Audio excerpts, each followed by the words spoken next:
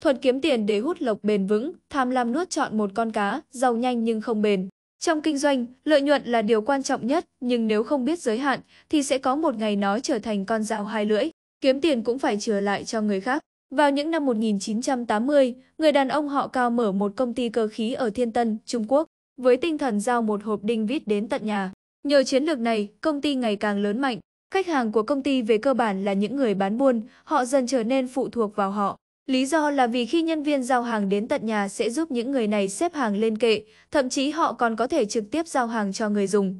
Điều này có nghĩa là những người bán buôn không cần phải làm gì cả, chỉ cần ngồi không cũng kiếm được tiền tranh lệch.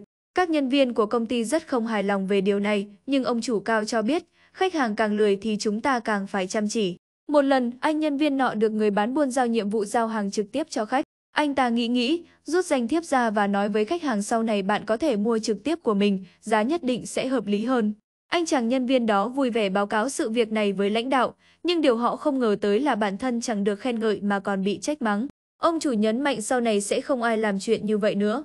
Mọi người đều không hiểu, doanh nhân họ cao nói, nếu anh kiếm được tất cả tiền trên thế giới và những người khác không còn một xu, sau này anh có thể kiếm ở đâu nữa? Đây là triết lý kinh doanh không ăn cá nguyên con.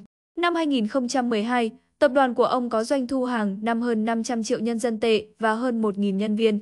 Đây không chỉ là cách kinh doanh mà còn là cách làm người. Có người nói, của cải như nước, bạn có thể uống một cốc nước, ở nhà có thể để sẵn một xô nước, nhưng nếu là một dòng sông thì phải học cách chia sẻ với người khác. Tham lam đồng nghĩa với triệt đường sống của chính mình. Trong cuộc sống của chúng ta, không khó để tìm thấy những người bị che mắt vì cái lợi trước mắt. Có người muốn ăn cả con cá mà mất cả con tôm khô. Trong môi trường công việc, chúng ta chắc chắn sẽ đối mặt với những thời điểm phải cạnh tranh, ganh đua với đồng nghiệp, với đối thủ cũng như với chính bản thân mình. Cơ hội không có nhiều, chỉ những ai đủ năng lực nắm bắt mới có thể đạt được thành tựu cho riêng mình.